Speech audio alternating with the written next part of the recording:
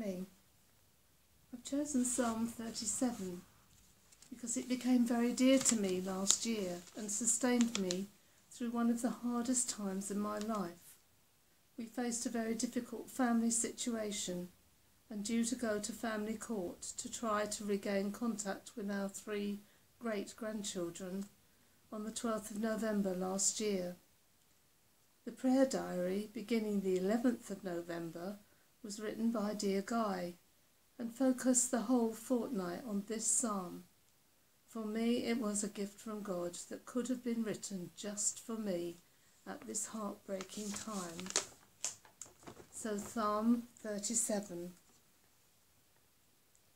Do not fret because of evil men, or be anxious of those who do wrong. For like the grass, they will soon wither the green plants, they will soon die away. Trust in the Lord and do good.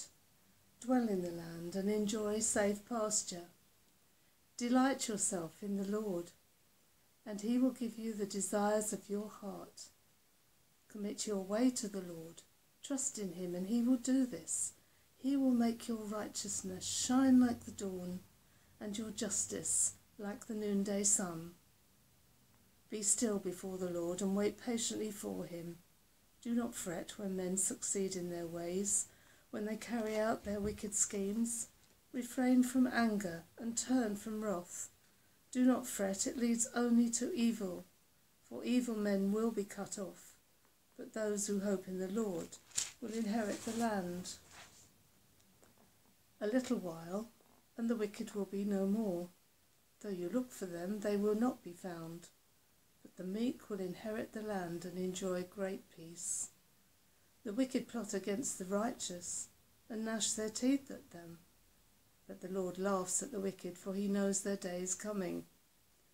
The wicked draw the sword and bend the bow to bring down the poor and needy, to slay those whose ways are upright. But their swords will pierce their own hearts, and their bows will be broken. Better the little that the righteous have than the wealth of many wicked. For the power of the wicked will be broken, but the Lord upholds the righteous.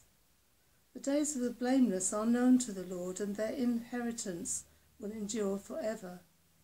In times of disaster they will not wither. In days of famine they will enjoy plenty. But the wicked will perish. The Lord's enemies will be like the beauty of the fields. They will vanish, vanish like smoke. The wicked borrow and do not repay, but the righteous give generously. Those the Lord blesses will inherit the land, but those he curses will be cut off. If the Lord delights in a man's way, he makes his steps firm. Though he stumble, he will not fall, for the Lord upholds him with his hand.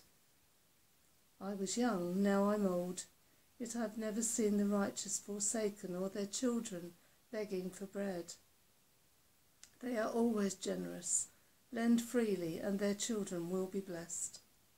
Turn from evil and do good, then you will dwell in the land forever. For the Lord loves the just and will not forsake his faithful. They will be protected forever, but the offspring of the wicked will be cut off. The righteous will inherit the land and dwell in it forever. The mouth of the righteous man utters wisdom, and his tongue speaks what is just. The law of his God is in his heart, his feet do not slip. The wicked lie in wait for the righteous, seeking their very lives, but the Lord will not leave them in their power, nor let them be condemned when brought to trial. Wait for the Lord, and keep his way, he will exalt you to inherit the land when the wicked are cut off. You will see it.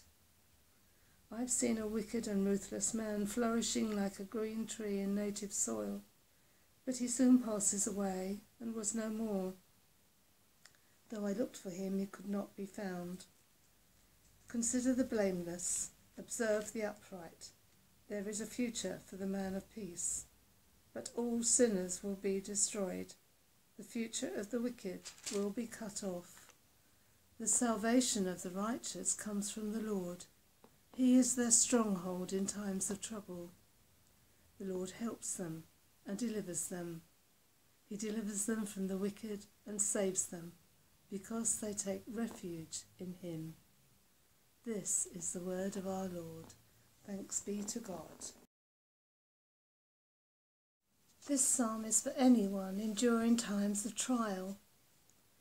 It reveals God's character, awesome in his goodness, faithfulness, trustworthiness, compassion, and above all, his love and care for his children. It also shows us the kind of life God expects and how we should respond to life's problems and difficulties. It also clearly reveals the outcome for the wicked, that is, those who reject our loving God. I have learned so much from this rather long psalm, so today I'm just focusing on verses 1 to 8. David knew how hard it was not to fret, so three times we read, Do not fret. Fretting is worrying about things we cannot control and is a sin. No matter what our fear or worry, COVID 19, loss of a job, family difficulties, financial or health problems, God is on his throne and is in control. We are to trust him, his plans, power and love, remembering that he works only for our good. In verse 3 we read, Trust in the Lord and do good. These things are inseparable. A lifestyle involving action, obedience, doing the good that God commands us to do. Patient endurance, rejecting our own sinful desires, no matter what the situation. Verse 4 says, Delight yourself in the Lord, and he will give you your heart's desire. If we are to, de- to delight in Him, we need to develop our own relationship. That requires an investment of time and effort, but will lead to rejoicing in Him and responding to His will. The reward is receiving our heart's desire, which may be a personal desire or the spiritual desire of a heart that yearns to get over closer to God. Both happened in my case for me through this psalm a deeper heart understanding of my Father God and my desire in that, with thanks to God for answered prayer, the court restored our right of access to the children. Verse 5 says that we are to commit our way to the Lord. Commitment is a deep, satisfying relationship. This means trusting Him with our burdens, worries, fears, and circumstances taking all things to the foot of the cross, leaving them there, and trusting in his unfailing love. God sent Jesus to the cross for just such difficult times that we may not be burdened. In Matthew 11, verses 28 to 30, Jesus said, Come to me, all who are heavy laden, and I will refresh you, for my yoke is easy and my burden is light trusting in God's perfect will and timing, will lead on to verse 6, which says, He will make your righteousness shine like the dawn, and the justice of your cause like the noonday sun. God loves and honours righteousness and justice, and I can witness to that in the decision of the family court.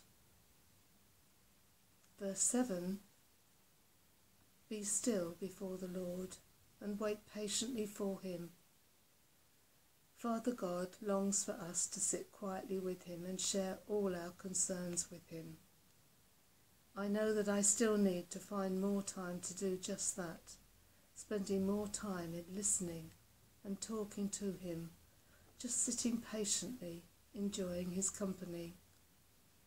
David reminds us not to fret about things that are going on around us, that our focus should be only on God. Finally, verse 8 refrain from anger, turn from wrath, and the fifth time, do not fret.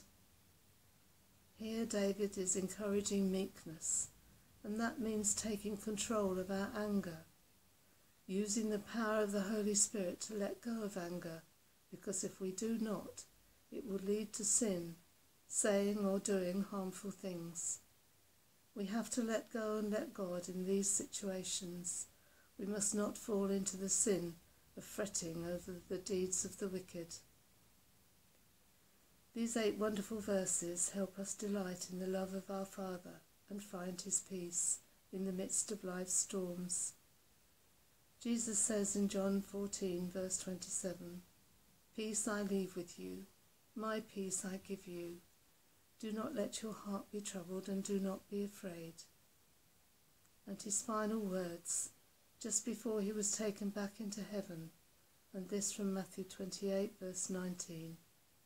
And surely I am with you always to the very end of the age.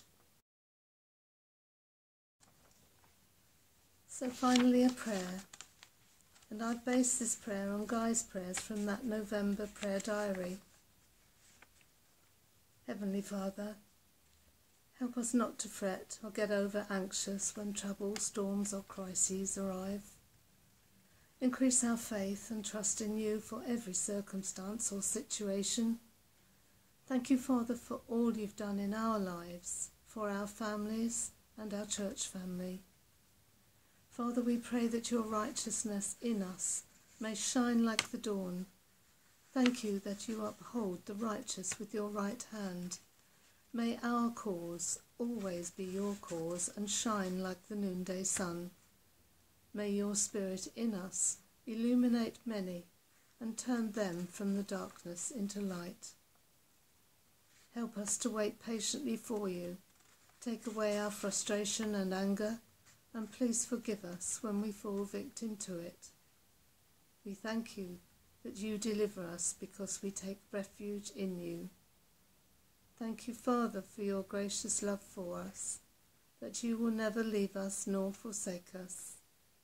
We thank you for all your promises in this psalm, and that they are yes in Jesus. May we live each day in worship, praise, and obedience to your will confident that if we delight in you, you will give us our heart's desire. May we commit our lives, all we do, say, and think to you, for your glory, and in Jesus' name we pray. Amen.